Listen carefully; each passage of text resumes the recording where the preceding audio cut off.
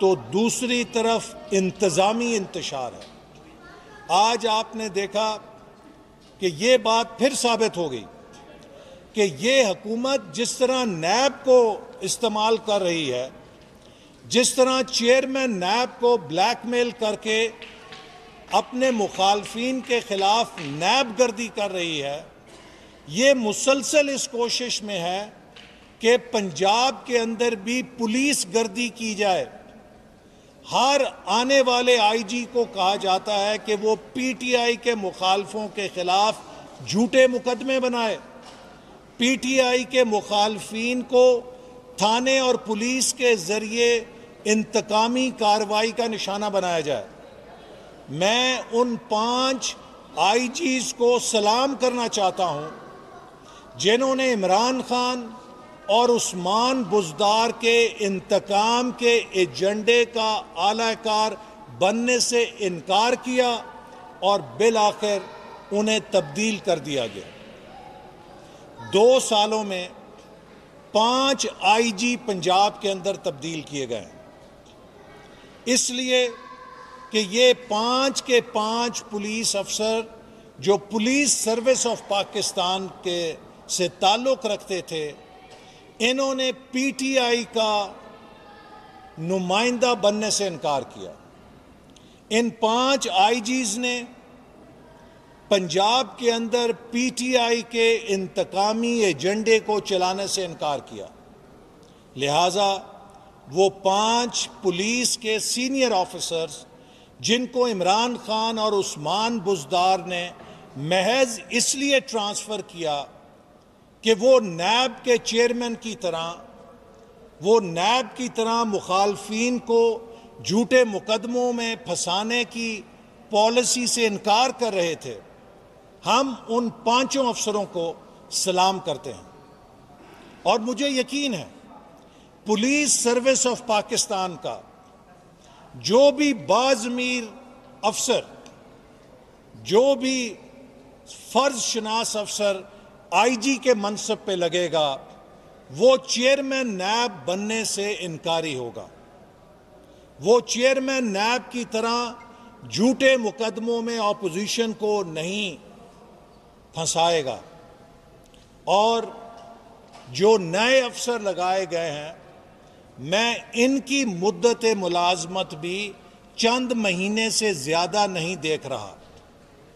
इसलिए कि जो अफसर फ़र्ज़ शनासी करेगा, जो अफसर इंतकामी एजेंडे पर नहीं चलेगा, वो उस्मान बुजदार और इमरान खान के पैमाने पर पूरा नहीं उतर सकता। इस वक्त पंजाब को इंतज़ामी तौर पे मफलूज कर दिया गया। नौ नौ सेक्रेटरीज तब्दील हो चुके हैं छः छः कमिश्नर तब्दील हो चुके हैं। पाँच पाँच डिप्टी कमिश्नर जिलों के अंदर तब्दील हो रहे हैं। जिस सूबे के अंदर दो सालों में चार चीफ सेक्रेटरी, पाँच आईजी, आठ आठ नौ नौ दस दस सेक्रेटरी तब्दील होंगे, आप मुझे बताइए वो सूबे का इंतज़ामी ढांचा कैसे चलेगा? इन्होंने जहाँ सियासत के अंदर इंतशार पैदा किया है मुल्क के अंदर, मुसलसल सियासत में ये तकसीम पैदा कर रहे हैं, इस वक्त पाकिस्तान के इंतज़ामी ढांचे को भी ये मफलूज कर रहे हैं और बदतरीन तौर पे इंतशार की तरफ़ धकेल रहे हैं। मैं समझता हूँ कि इस तरह की हुक्मरानी से पाकिस्तान मज़बूत नहीं हो रहा, कमज़ोर हो रहा है। पाकिस्तान का तमाशा बन रहा है। और दूसरी तरफ़ आप देखिए कि जो चंद दिन पहले ग्लोबल इनोवेशन इंडेक्स रिलीज़ हुई है 2020 के लिए, उसमें पाकिस्तान की मजीद तनजली हो चुकी है। पाकिस्तान पिछले पाँच, चार, पाँच सालों में उस पर बदरजा बदरजा ऊपर जा रहा था। लेकिन अब हम उसमें तनजली का शिकार हो गए हैं। किस लिए?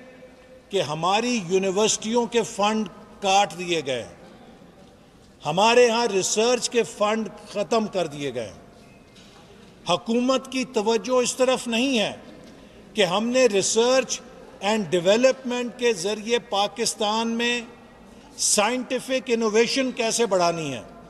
हकूमत की सारी तवज्जो इस तरफ़ है कि हमने रिप्रेशन रियासती जबर में इनोवेशन कैसे करना है। जिस मुल्क के कैपिटल से लोग उठाए जाएँ और उनका ये ना पता चले कि किसने उठा लिया है। जिस मुल्क में रोज़ाना ये खबरें लगें कि उसके नौजवानों को रियासती जबर से मारा जा रहा है या अगवा किया जा रहा है, दुनिया उस मुल्क के बारे में क्या तस्वर करेगी?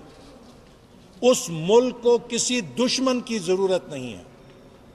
इमरान खान पाकिस्तान की बदतरीन फैशिस्ट रजीम है, और अगर हमने एहले पाकिस्तान ने इस इमरान खान का जो मोदी की तरह पाकिस्तान में हिटलर बनना चाहता है, रास्ता न रोका, इसका हाथ न पकड़ा तो आने वाला वक्त हमें माफ़ नहीं करेगा। हम इमरान खान साहब को पैगाम देना चाहते हैं कि आपके फैशिस्ट एजेंडे के आगे हम सिर नहीं झुकाएँगे।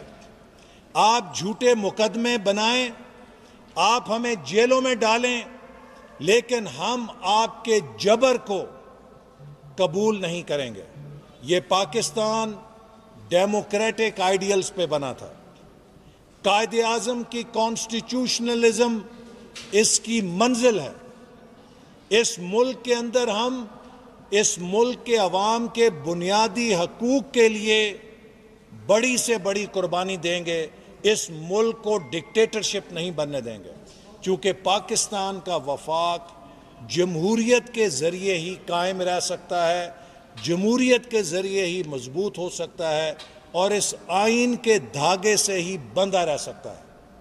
लिहाजा इनके जितने जबर के हथकंडे हैं, ये हमारे आजमाए हुए हैं हम इनके आगे मुस्लिम लीग नून अपना किरदार अदा करेगी। और मैं फिर मुतालबा करता हूँ कि खुदा के लिए कराची के मसले पर सियासत बंद करें, सिंध हुकूमत के साथ बैठें और उसी जज्बे के साथ बैठें, जिस जज्बे के साथ हम खैबर पख्तूनख्वा की हुकूमत के साथ बैठते थे, आप कंटेनर पे हमें गालियाँ देते थे लेकिन हम खैबर पख्तूनख्वा की हकूमत को उसकी रॉयल्टी अदा करते थे। हमने कभी आपकी मनफी सियासत की सजा खैबर पख्तूनख्वा की हकूमत या खैबर पख्तूनख्वा के अवाम को नहीं पढ़ने दी। और इसका एक और सबूत यह है कि हमारे पाँच सालों में खैबर पख्तूनख्वा में जितने यूनिवर्सिटी के प्रोजेक्ट बने हैं पाकिस्तान की सत्तर साल की तारीख में उसकी मिसाल नहीं मिलती। क्योंकि हमने तमाम सूबों को एक नज़र से देखा है। आज अगर थर के अंदर कोयले के प्लांट चल रहे हैं तो उसकी वजह यही है कि सिंध की सूबाई हुकूमत और मुस्लिम लीग नून की वफाकी हुकूमत ने मिलकर एक टीम बनकर सी पैक के ज़रिए उन मंसूबों की फाइनेंसिंग हासिल की। जमहूरियत इंक्लूसिव गवर्नेंस के ज़रिए चल सकती है।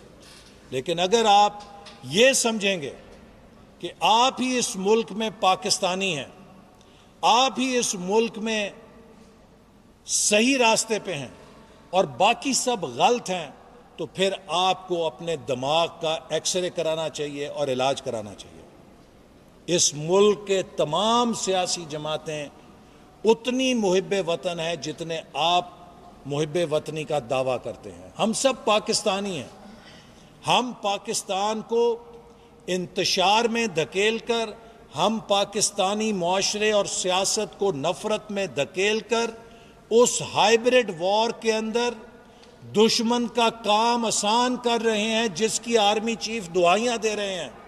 इमरान अहमद न्याजी साहब, आप बताएँ किसके साथ है? पाकिस्तान के साथ हैं या उन पाकिस्तान के दुश्मनों के साथ हैं जो हाइब्रिड वॉर के ज़रिए इस मुल्क में इंतशार फैलाना चाहते हैं। आप इंतशार फैला रहे हैं। आप इंतज़ामी इनारकी फैला रहे हैं और आपकी ये पॉलिसियाँ पाकिस्तान को कमज़ोर कर रही हैं, जिसका सबसे बड़ा सबूत यह है कि आपने पाकिस्तान को इतना मफलूज और कमज़ोर कर दिया है कि भारत ने मकबूजा कश्मीर को नवालाए तर समझ के हड़प कर लिया। कभी भारत को ज़रूरत नहीं हुई थी। बहत्तर साल में ज़रूरत नहीं की थी भारत ने कि वो